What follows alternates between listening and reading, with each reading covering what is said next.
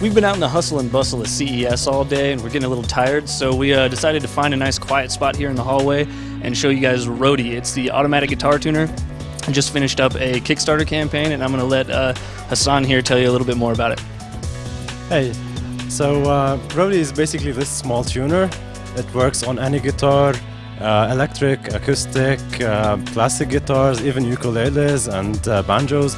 And it basically tunes your guitar in less than a minute and it's three times more accurate than a human ear. It's basically small, you can put it in your pocket and travels with you. The benefits of it is that it saves you time tuning, it makes your instrument sound better, it just makes it, uh, does it for you, so it saves you from all the, the hustle of, of, of going through tuning.